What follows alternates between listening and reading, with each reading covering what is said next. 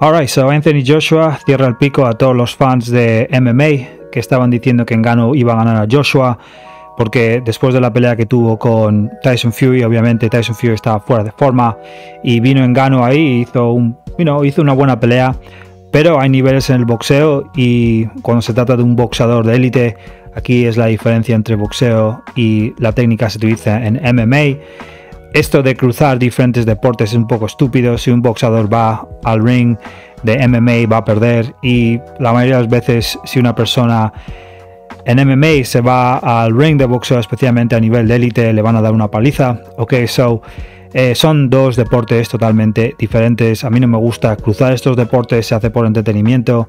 Pero todos los fans de MMA que estaban diciendo que Engano era este boxeador, que era peligroso, que mira su pegada, pues Anthony Joshua le puso abajo tres veces y de una manera no bonita. O sea, con pequeños ajustes nada más, dos o tres golpes, totalmente abierto para un contragolpe y no sabía qué hacer, engano. Y toda esa mandíbula y todo eso se va a la mierda porque se está enfrentando contra un boxeador de Si hubiese sido Deontay Wilder el que le pega esa segunda mano, eh, probablemente está en el hospital ahora mismo porque estaba demasiado, um, you know, eh, o sea, estaba conmocionado después. Y Anthony Joshua no suele noquear a boxers así, pero en Ganu simplemente no tiene la técnica para hacerlo. So, yeah, um, you know, yo entiendo que hay muchas personas que tienen pride con eh, mixed martial arts, me parece algo muy importante para aprender, especialmente si estás en la calle, pero cuando estás en un ring y solo son guantes, ain't gonna, ain't gonna save you. Tienes que aprender a boxear. So, y no, enhorabuena en Ganu, eh, creo que ha ganado bastante dinero en estas dos peleas y me alegro por él.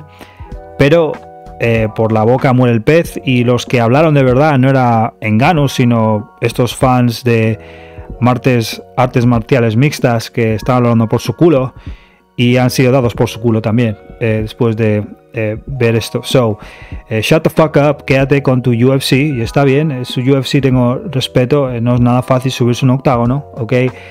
Pero el ring es el ring, el octágono es el octágono y la única razón por que Enganu está incluso rankeado es porque le habían dado el dinero y la oportunidad de hacerlo, pero hubiese perdido con cualquier boxeador de élite eh, que esté un top 10 eh, y probablemente un top 15 también, porque hay muchos boxeadores que son muy peligrosos, que tienen muy buena técnica. So, you know, eh, duro lo que duró pero aquí ya queda eh, que como se trata de rey de, los, de, los, puños, es el boxeo y siempre lo va a ser. Alright, por todo mundo, un like, suscríbete a mi canal de boxeo en español inglés y ves nuestra página web de boxing.com para más información y más noticias. Tuses.